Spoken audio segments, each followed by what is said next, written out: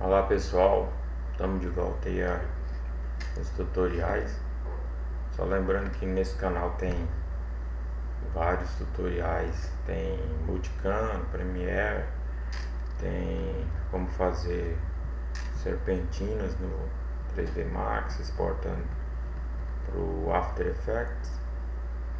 Tem também Color Balance, a pedido de um amigo meu que foi feito esse, esse tutorial para ele eu postei do After Effects é, sobre como criar vinheta e tal, layout, corpo, esses, tomando esses cuidados.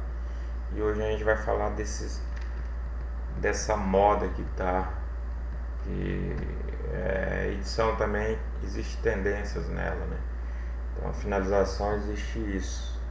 Às vezes estão usando igual o Fantástico usou aqueles polígonos com, com triângulos, alguma coisa assim, meio que abstrato.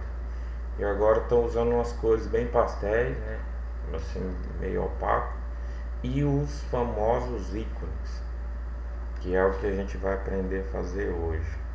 Primeiro a gente tem que partir do princípio seguinte, você tem que desenhar o seu ícone ou comprar ou pegar em algum site free o ícone vetorizado ou vetorizar. A partir disso aí você pode fazer o que você quiser. Ou também pelo Photoshop fazendo layers. Ou desenhando no próprio After. Correto? Então vamos lá, vamos abrir o After Effects e vamos partir aqui para para animação desses itens. Certo?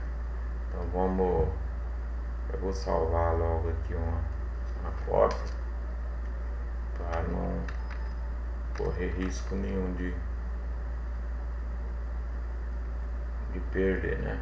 Vai que dá uma perda de energia, alguma coisa. Tudo ícones animados.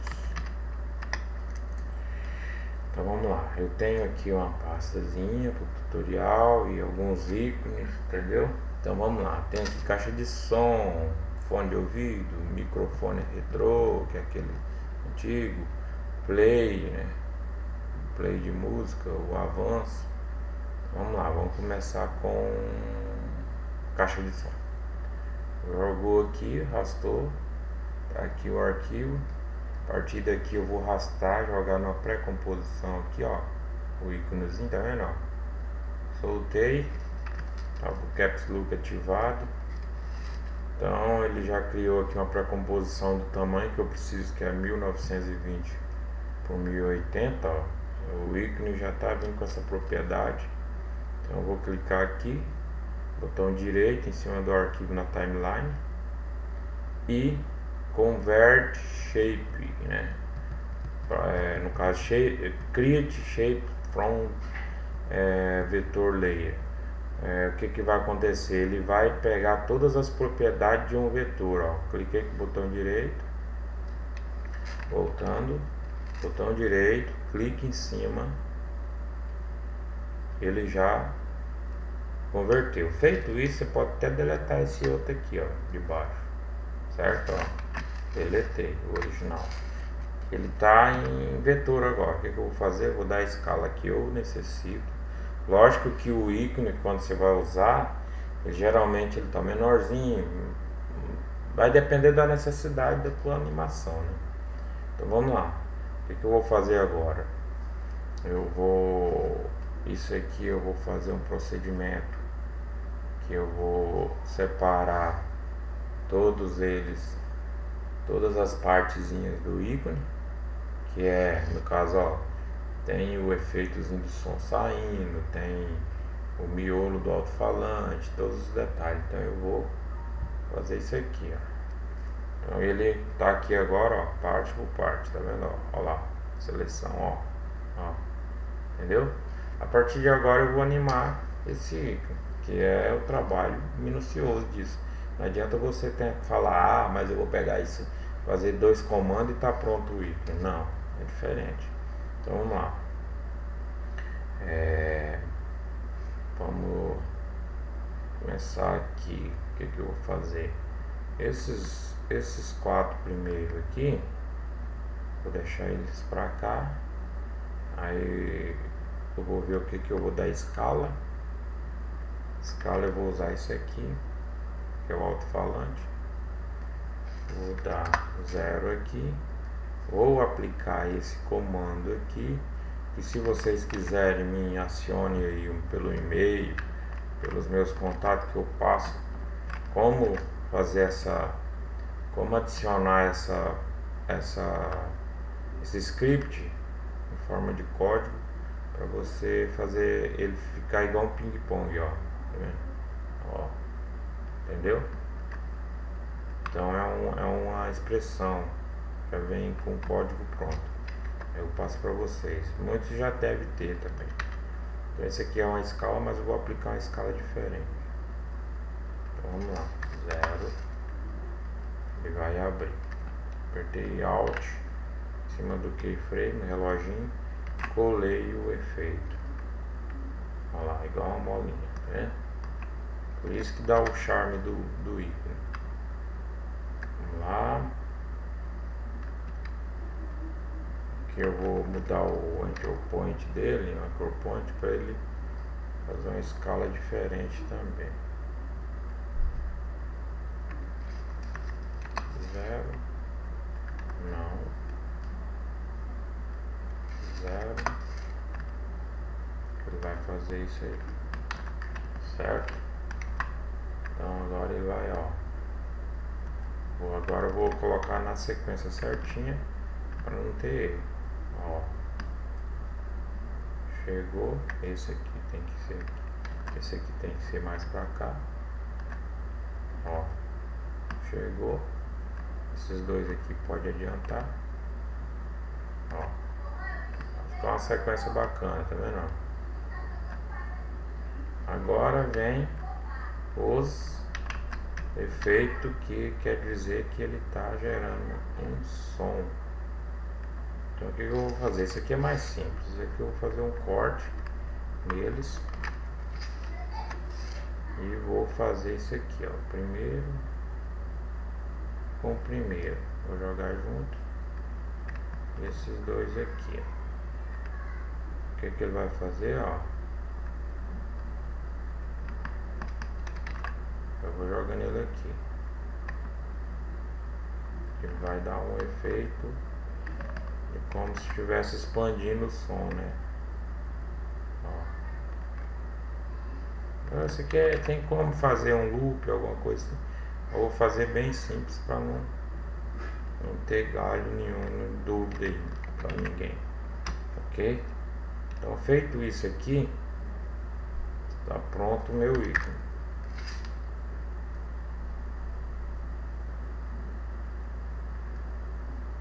Certo? Eu posso até aumentar esses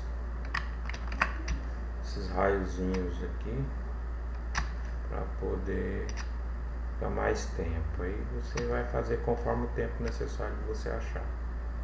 Aí você pode adicionar efeitozinho de, de, de áudio. Aí. Tá pronto isso, né? Feito isso, se você quiser mudar de cor, essas coisas todas, você vai pegar esse ícone e vai jogar em outra pré-composição para usar ele, lógico. Aí você vai usar o fio aqui, ó, Effects, Generate, Fio.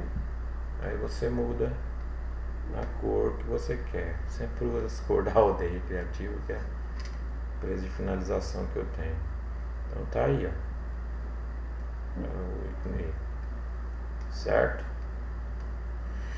Aí é conforme a criatividade de cada um. Vamos pegar mais um aqui. Pegar um play aqui. Esse play aqui ou esse. Este.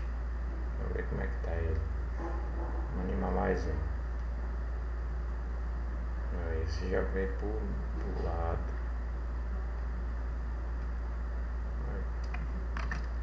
Converte. Tá ali. Já apareceu tudo, ó. Vou jogar no meio aqui. Olha só. Legal. Você vai fazer esse processo de separar eles. E aqui estão todos eles. Vou fazer um negócio aqui, ó. Quando você vem em fio aqui, ó, você pode deixar ele só a borda. Tira aqui, vem aqui, aí dá uma cor para ele aqui, né? No caso aqui é preto, vamos deixar tudo preto. Não quer dar certo, eu tenho que vir aqui, ó, sólido a cor. Sólido, ok? Aqui agora eu escolho a cor. Uai, não quer dar certo. Normal. Por que que não quer? Tem alguma coisa aqui que não está aceitando.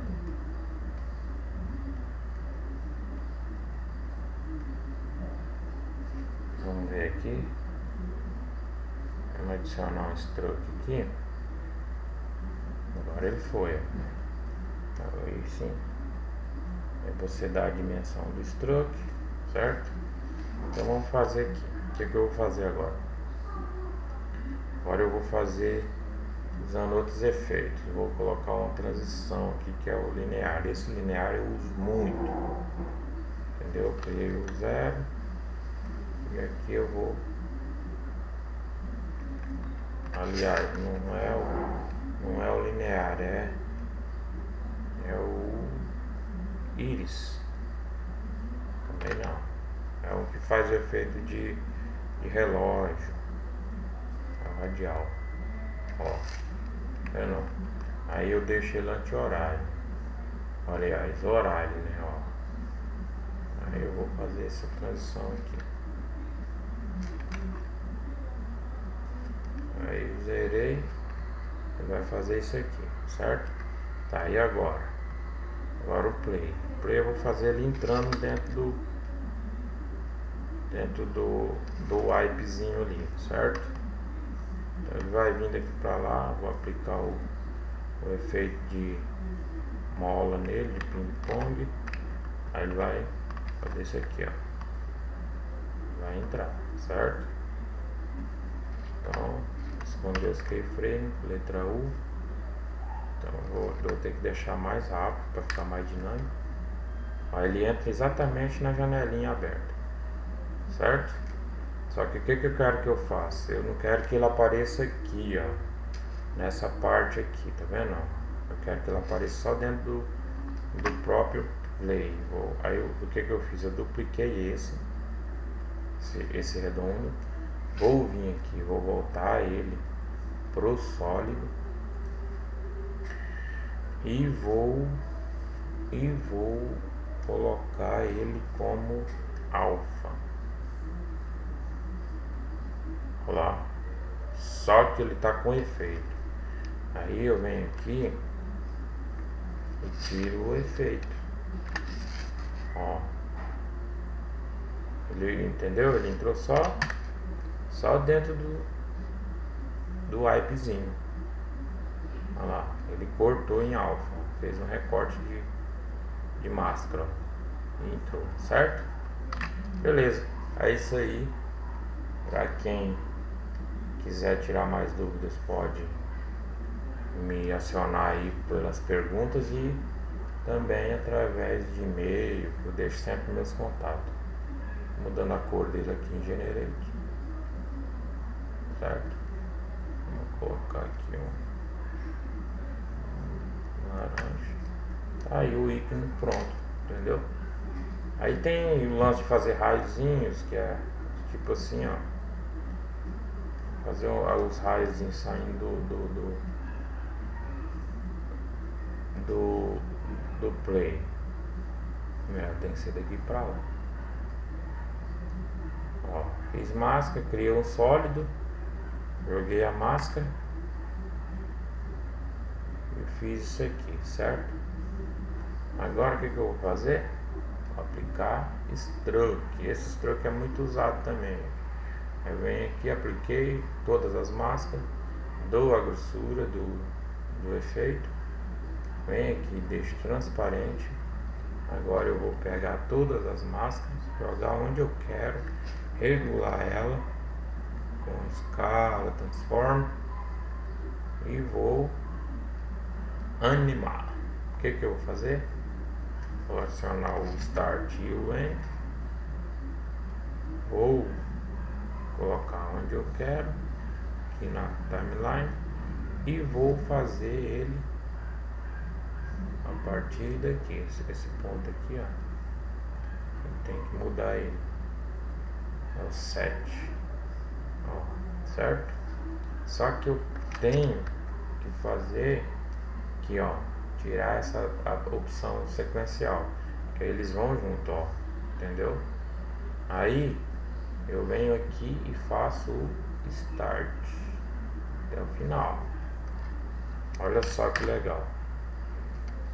Aí você tem que acelerar para ficar dinâmico, senão não fica legal. Só que não tá legal, não tá do jeito que eu quero. Eu quero assim, bem distribuído na lateral. Então vamos lá, vamos organizar e aí está. Eu acredito que agora vai ficar legal. Olha só. Certo? Feito isso, você quer que faz para os dois lados? Já fez um lado, duplica, vem em escala. Para que ser escravo? Fazer tudo de novo. Coloca menos que vai fazer isso aqui. Certo? Tá aí o ícone, como você vê nos, nos, nos templates que os caras vendem, vende bem caro isso, inclusive no Envato, no VideoHire. Tem um bocado de site que vende esses templates que você pode muito bem fazer à mão. Fazer você mesmo próprio, não à mão, à mão sempre você tem que fazer. Beleza? Então esses scripts aqui, esses, essas expressão aqui, se você não tem, tem dúvida e quer ter eles, entre em contato comigo que eu passo. É, tá aí esse tutorial, espero que goste. Um abraço, confere no canal vários tutoriais, inclusive sobre como fazer vinheta usando, sabendo usar elementos e cores. Um abraço, valeu, obrigado a todos.